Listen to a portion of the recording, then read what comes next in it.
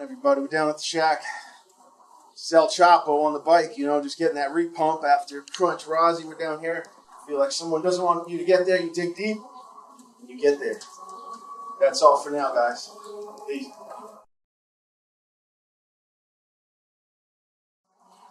I need to hit some weights. Hit some weights, dude. Come on, come off the bike. Let's Dude, hit some don't do weights. cardio. Come on. El Chapo going in. Weight on there, no cardio. As much as fucking possible. That's how much weight is on there. What the Vertical. Whole rack, whole stack. Phil Rizk never holds back. He's got the pump. Chapo. El Chapo. Woo! Pump. Audio pod. Don't show him too much. No, we show him everything here at the Can't pump just give shack. this away. One-on-one personals with Phil Rizk. El, Crosby El square. Yeah, rack the dumbbells. Let's get the shoulder press going. Come on. I'm done, please. Nah, dude, let's go.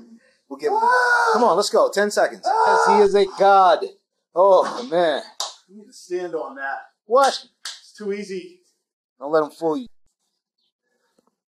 Is that the rest of recovery section over there? Boosie Let me ball. show you. Boom.